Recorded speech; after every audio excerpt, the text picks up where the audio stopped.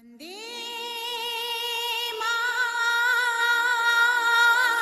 மாதரம்.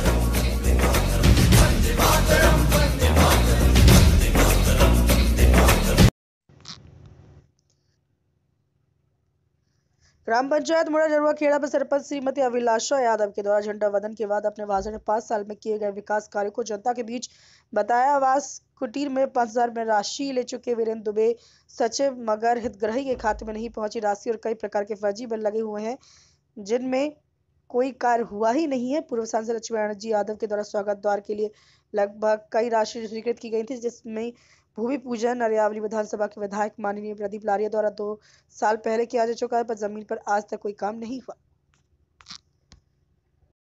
भैया कुटीर आई हैगी तो आपके पैसा पूरे डल गए क्या? पैसा पूरे नहीं डले। अच्छा तो अभी तक कितने पैसे आए हैं टोटल? अभी एक लाख पाँच हज़ार आए थे तो उनमें से पाँच हज़ार वीरेंद्र दुबे ने ले लिए। अच्छा तो क्या बीरेंद्र दुबे कौन? मुर्रा जरुआ खेड़ा के सर सचिव। अच्छा सचिव।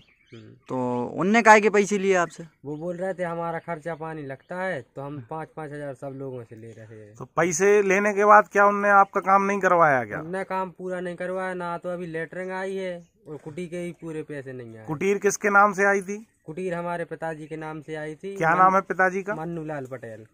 और जी आपकी माता जी है? हाँ माता इनका क्या नाम है? इनका रामाबाई। रामाबाई नाम है हमारा। अच्छा। सर आपका नाम? महेंद्र यादव पत्रकार तिड़गुआ खेरा हरिभूमि। हरिभूमि। तो आप क्या जरुआ खेड़ा मुरा पंचायत से हैं? जी हाँ। तो सर क्या आपके साथ क्या समस्या है?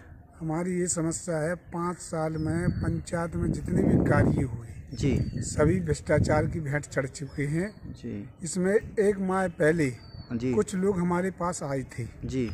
और उन्होंने बताया था कि हमारे जो पैसे हैं खाते में नहीं आए। जी। और पैसे डल चुकी हैं। जी। जब इस संबंध में हमने पंचायत में एक आवेदन दिया तो एक माह करीब हो चुका डेढ़ माह होते- होने जा रहा है। जी। सरपंच ना सचिव जी। ना तो हिसाब देने को तैयार है और ना ही कुछ कहने को तैयार है। जी।